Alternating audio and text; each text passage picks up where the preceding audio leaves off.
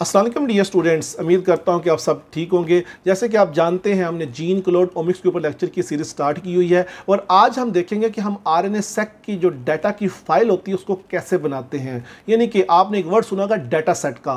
तो आज के लेक्चर में हम देखेंगे कि हम एक्सेल के ऊपर रहते हुए जो आर एन सेक का डाटा सेट होता है, उसको कैसे बनाते हैं। आइए देखते हैं, उसमें क्या कुछ अवेलेबल है। जी स्टूडेंट्स आज का लेक्चर हम आपसे शेयर कर रहे हैं कि हम किस तरीके से जो जितना भी इनपुट डाटा होता है जीन एक्सप्रेशन के लिए, उनकी फ़ाइल को कैसे प्रिपेयर कर सकते हैं। हम दोबारा आए हैं जीन क्लोड की उसी वेबसाइट के ऊपर और यहाँ पे देखिए हमारे पास ऑप्शन अवेलेबल है प्री प्रोसेसिंग का। जस्ट इस ड्राप डाउन एरो को क्लिक करें ताकि हमें ये तो पता चल सके कि ये किस किस डाटा को रीड करता है। तो इसलिए हम सबसे पहले देखें तो हमारे पास आ जाएगा आर एन सेक का डाटा यानी कि हमारे पास जो है सबसे पहले हम जो फ़ाइल प्रिपेयर करेंगे वो आर एन के डाटा की फ़ाइल होगी, फिर माइक्रो एरे डाटा की फ़ाइल होगी। फिर इस तरीके से जो हमारे पास जीईओ डाटा इंपोर्ट जो एनसीबी से आता है उसका एक्सेशन नंबर या उसकी फ़ाइल को हम यहाँ से डाउनलोड कर सकते हैं, उसको भी हम आज डिस्कस करेंगे। तो आज के लेक्चर में हम आपसे शेयर करेंगे किस तरीके से हम तमाम फाइल्स को बना सकते हैं और फिर फर्दर जो नेक्स्ट हमारा लेक्चर होगा, उसमें हम देखेंगे कैसे उसको यहाँ पे अपलोड करके उसके फिर फर्दर जो है एक्सप्रेशन के एनालिसिस देख सकते हैं। इसके लिए आपको सबसे पहले आना पड़ेगा इसके कंसेप्ट के ऊपर, यानी कि आर एन क्या होता है माइक्रो एरर क्या होता है, आइए देखते हैं पहले ये। ओके okay, अगर आप यहाँ पे देखें तो हमारे पास जो जीन एक्सप्रेशन को मेजर करने के लिए या उसको अंडरस्टैंड करने के लिए इससे बेहतर जो है वो डायग्रामेटिकली रिप्रेजेंटेशन नहीं हो सकती। तो सबसे पहले तो हम कंसेप्ट ये देखते हैं डीएनए माइक्रो एरे का।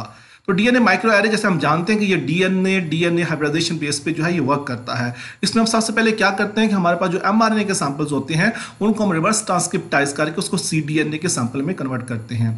फिर उन सीडीएनए सैंपल को हम फ्लोरोसेंट टैग यानी कि लेबल करते हैं, ताकि ईजिली ये जो है आगे जाके डीएनए माइक्रो एरे की जो प्लेट होती है, वहाँ पर जो प्रोब्स है, उनके साथ जाके अटैच हो सके।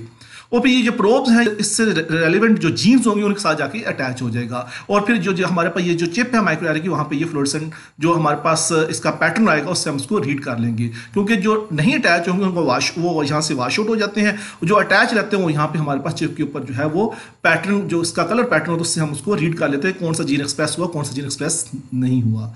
ओके जी, अब हम मूव करते हैं आरएनए सैक की तरफ़। यानी कि आरएनए सैक का जो मेथड है, उसमें क्या कुछ होता है? उसमें भी सिमिलरली उसी तरीके से हमारे जो आरएनए के सैंपल्स होते हैं, उनको हम रिवर्स ट्रांसक्रिप्टाइज करके सीडीएनए में कन्वर्ट करते हैं। फिर इन सीडीएनए के जो हमारे पास ये फ्रेगमेंट्स आते हैं, इनको हम सिक्वेंसर से रीड करते हैं। सिक्वेंसर इन फ्रेगमेंट्स को रीड करता है। रीड करने के बाद जो हमारा रेफरेंस जिनोम होता है, उनके जीन के अकॉर्डिंगली क्या करता है? काउंटिंग जो है, वो बनाता है। अब यहाँ पे देखिए gene one two three and four और जिन जिनके आगे काउंटिंग अवेलेबल है मतलब इनके इनके लिए जो है, यहाँ पे इसकी रीड अवेलेबल है। ठीक है? अब देखिए सैंपल वन और सैंपल टू यहाँ पे हमारे पास आ गए। फिर ये तमाम जीन्स आ गए और नीचे की काउंटिंग्स आ गई। अब ये तो काउंटिंग है, ये फ्रेगमेंट्स जो हमें नज़र आ रहे हैं। इनको हम किस तरीके से जो है, हमारे पास जो एक्सपेरिमेंटल डाटा होता है, ये क्वालिटेटिव डाटा उसको कैसे हम कन्वर्ट करते हैं क्वांटिटेटिव डाटा पे? क्योंकि आगे हमने जो एक्सप्रेशन के लिए हमारे पास जो फ़ाइल होती है, वो क्वांटिटिव फॉर्म में होती है। तो यहाँ पे देखिए, आपके सामने एग्ज़ाम्पल अवेलेबल है। यहाँ पे जितनी भी रोज है हमारे पास, यहाँ पे जीन्स हैं और जो हमारे पास कॉलम्स होंगे, उनमें हमारे पास देखें क्या सैंपल वन सैंपल टू है। वेरी सिंपल अगर आप जीन वन को देखें और इसी तरीके से आप यहाँ पे आ जाए रीड के सामने तो जीन वन के आगे देखें सैंपल वन और सैंपल टू की कोई रीड अवेलेबल नहीं है। तो यहाँ स्कोरिंग में भी इसके लिए यहाँ पे क्या आएगा? ज़ीरो एंड ज़ीरो आएगा। सिमिलरली अगर हम जीन टू के ऊपर जाएँ तो यहाँ पे सैंपल वन जो है हमारे पास जो है, उसके जो है, वो यहाँ पे 15 रीड्स हैं। फिर सैंपल टू के हमारे पास कितनी रीड्स हैं? 14 हैं। इस तरीके से अगर हम जीन थ्री पे चले जाएँ तो उसके देखिए हमारे पास जो सैंपल वन के रीड्स हैं, वो फोर हैं, और सैंपल टू भी क्या है? फोर है। फिर जीन फोर की अगर बात करें जीन फोर पे आ जाए यहाँ पे स्लो में तो उसके कालम में चले जाए तो यहाँ पे हमारे पास जो सैंपल वन है, उसमें सेवन है इसकी रीड्स और जो हमारे पास सैंपल टू है, उसकी उसकी कितनी रीड है? फाइव तो इस तरीके से ये जो फ़ाइल हमको यहाँ से प्रिपेयर करनी पड़ती है, और फर्दर हम डिफरेंट किस्म के जो स्टेटिकल टूल्स होते हैं हैं उनको यूज़ करते हुए इस फ़ाइल को आगे नॉर्मलाइज करते हैं। वो हम आने वाले जो हमारे लेक्चर होंगे, उनमें आपसे डिस्कस करेंगे। नॉर्मलाइज करने के बाद फिर हम इसको जो डिफरेंट स्टैटिकली जो टूल्स होंगे, उनके बेस पे जो है इसके एक्सप्रेशन के एनालिसिस देखते हैं। तो ऐसी फ़ाइल हमें जो है एक्सेल की फॉर्म में चाहिए होती है, अपने डाटे को एज ए इनपुट फ़ाइल जो है आगे एनालिसिस के लिए। ओके नेक्स्ट अगर हम देखें तो हमारे पास जो लास्ट ऑप्शन है वो क्या है? जीईओ का। यानी कि जीन एक्सप्रेशन ओमनी बस का। यानी कि ये ये एक्सेशन नंबर हम कैसे ले सकते हैं? आइए देखते हैं कि हम एनसीबीआई से जीईओ की एक्सेशन से डाटे को कैसे जो है डाउनलोड कर सकते हैं। ओके okay, इसके लिए आपको आना पड़ेगा एनसीबीआई के होम पेज के ऊपर। ये उसका होम पेज है। यहाँ पे आप आल डाटाबेस के ड्रॉप डाउन एरो पे क्लिक करें तो यहाँ पे ऑप्शन अवेलेबल होगा G E O data sets इसको सिलेक्ट कर लें। इसके बाद कोई भी आपके पास जो आपको नॉन या आर्टिकल से आपके पास चीज़ एक्सप्रेशन की जो है एक्सेशन नंबर अवेलेबल है वो यहाँ पे आप लिख लें। जैसे यहाँ मैंने ब्रेस्ट कैंसर के लिए जो सेक्शन नंबर लिखी है G S C one eight three nine four seven इसको सर्च करें। जैसे इसको सर्च करेंगे तो इसके बाद जो है इसके डाटा सेट ओपन हो जाएगी। देखें फ़र्स्ट जो ऑप्शन आपके पास आएगा, उसमें इसमें लिखा वेरी क्लियर लिखा हुआ है कि ब्रेस्ट कैंसर के जो एक्सप्रेशन है, उसके लिए ये फ़ाइल जो है क्रिएट की गई है। यहाँ यहाँ पे उसको सबमिट किया गया। आप इसको न्यू टैब में ओपन करें तो ये फ़ाइल इस तरीके से कुछ हमें नज़र आएगी। यहाँ यहाँ देखें जो हम जो है जी ओ यानी कि जो हम जीन एक्सप्रेशन ओमनी बस कहते हैं विद अवर एक्सप्रेशन नंबर जो कि ब्रेस्ट कैंसर के लिए जो है वो एक्सप्रेशन को हम रीड करने के लिए इसको यूज़ करते हैं। तो यहाँ देखिए ऑर्गेनिज्म जो है ब्रेस्ट कैंसर जारी बात है कि होमोसैपियन से रिलेटेड है, फिर एक्सपेरिमेंटल टाइप आ जाएगी, ठीक है एक्सप्रेशन एनालिसिस है हाई थ्रोपुट सीक्वेंसिंग के बाद, फिर उसकी समरी में डिटेल आ जाएगी, ये डिज़ीज़ कहाँ पे होती है, कैसे होती है, और इसके लिए आर एन की मेथड यूज़ किया गया है। जो भी सिक्वेंसिंग का मेथड यूज़ किया, अगर माइक्रो आ तो माइक्रो आएगा, अगर आर एन तो आर एन आएगा। ओवरऑल डिज़ाइन यहाँ पे आ जाएगा कि हमारे पास, वो कह रहे हैं हमारे पास थर्टी सैंपल थे थर्टी पेयर की फॉर्म में थे, कुछ यानी कि थर्टी नॉर्मल थे थर्टी कैंसरियन टिश्यूज के जो सैंपल थे टोटल हमारे पास सैंपल हो जाएँगे सिक्सटी अभी नीचे हम देखते हैं उसको। फिर कंट्रीब्यूटर्स आ गए, फिर जिस आर्टिकल में उन्होंने ये अपना जो है एक्सप्रेशन का डाटा जो है वो पब्लिश किया, उसकी सारी यहाँ पे डिटेल आ जाएगी। ये सारे सारे जो है डिटेल यहाँ पे आ गई। Submission of this data on NCBI फिर उसके बाद देखिए तो हमारे पास डिफरेंट प्लेटफॉर्म उसमें ये सैंपल्स आ गए। जैसे मैंने आपको शुरू में बताया था कि उसने थर्टी पेयर की बात की थी। मतलब है कि थर्टी इसके पास कौन से सैंपल होंगे?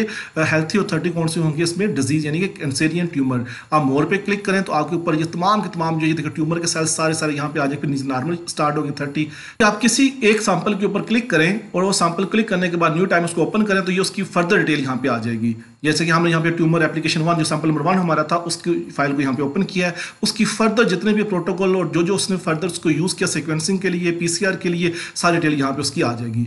लाइब्रेरी का नाम आ जाएगा ट्रांसक्रिप्टोमिक एसिड यानी बेस पे जो उसने लाइब्रेरी की सिलेक्शन की थी, ये उसकी डिटेल इन डिटेल जो कुछ भी उसके अंदर यूज़ हुआ था एग्ज़ाम्पल की, वो सारे सारे यहाँ पे अवेलेबल है। उसका सीक्वेंस तक यहाँ पे अवेलेबल है। हम वापस आएँगे, पिछली अपनी जो है वो वेब पे, जहाँ पे हमारा इसका पूरा का पूरा डाटा अवेलेबल था। तो इस नीचे देखें तो हमारे पास जो है इसका एस नंबर भी है, ये भी हम फर्दर अगर यूज़ करते हैं, जैसे लास्ट टाइम आपको बताया था प्रोटोमिक एनालिसिस के लिए यूज़ होता है ये तो ओके अगर हम लास्ट में देखें तो यहाँ पे हमारे पास ये एक फ़ाइल अवेलेबल है। ये वो फ़ाइल है जिसके लिए जो है हम जीईओ के ऊपर आते हैं। इस फ़ाइल को यहाँ से हम डाउनलोड करते हैं। आप क्लिक करें एच के ऊपर। जैसे आप इसको क्लिक करें तो ये डाउनलोड होना शुरू हो जाएगी।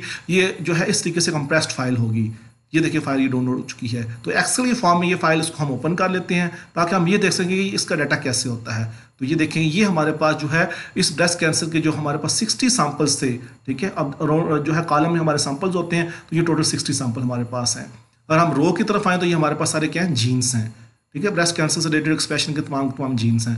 और यहाँ ऊपर की तरफ़ देखें तो हमारे पास क्या है? इसके सैंपल्स हैं। और ये फर्दर उनके क्या आगे एक्सप्रेशन आ गए। कहीं उसका ज़ीरो एक्सप्रेशन है, कहीं उनका फाइव एक्सप्रेशन है, कहीं उनका ट्वेंटी वन है, कहीं उनका थर्टी फोर है। तो ये हमारे पास जो है अकॉर्डिंग टू जो स्टैंडर्ड्स होंगे या उसके पॉजिटिव जो स्टैंडर्ड्स उनके अकॉर्डिंग यहाँ पे उसके एक्सप्रेशन सारे दिए हुए हैं। जो लोग R real time PCR use करते हैं, वो अच्छे तरीके से अंडरस्टैंड करते हैं कि एक्सप्रेशन को कैसे रीड करते हैं।